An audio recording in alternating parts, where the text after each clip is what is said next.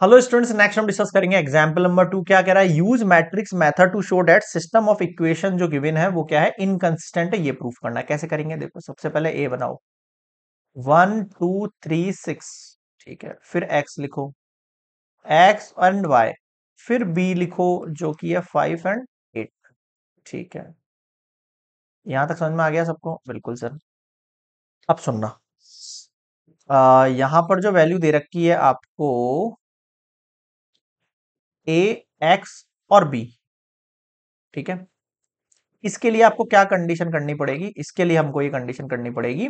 सबसे पहले तो ए का डिटर्मिनेंट निकालना पड़ेगा। तो निकालो भाई determinant one two three six six one जा सिक्स सिक्स वन जा सिक्स कितना हुआ? ज़ीरो हमेशा याद रखो, जब भी इनकंसिस्टेंसी वाली चीज़ हो रही होती है तो यूनिक सॉल्यूशन वाली चीज़ नहीं होती है तो ए डिटर्मिनेंट ज़ीरो निकल कर आएगा।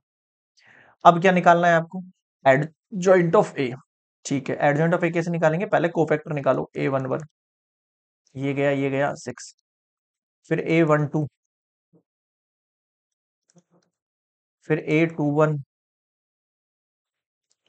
फिर ए टू टू ठीक है। अब क्या करना है आपको? एडजॉइंट ऑफ़ ए लिखना है।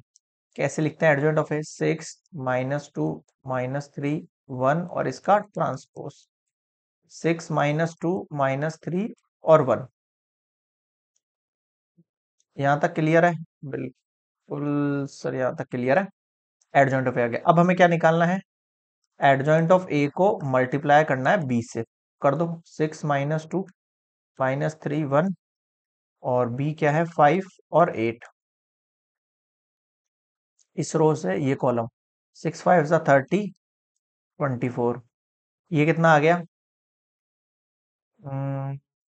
माइनस टू से टेन और वन से किया तो एट आ गया। कितना वैल्यू बचा देखो?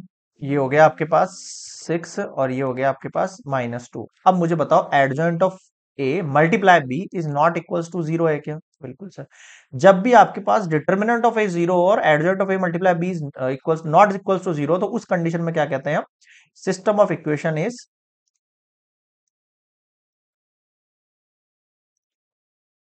system of equation is inconsistent बताओ, समझ में आई ये चीज़? बिल्कुल सर तो this is complete example two